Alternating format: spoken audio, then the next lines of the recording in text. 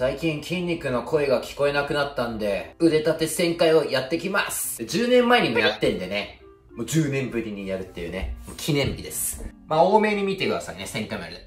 1、2、3、4、30、40、50回。よく1000回やったな、俺。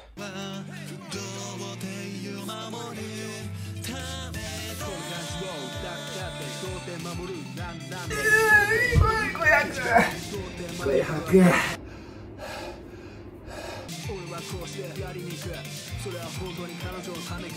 うそ、ぴゅんぴゅん。キモ。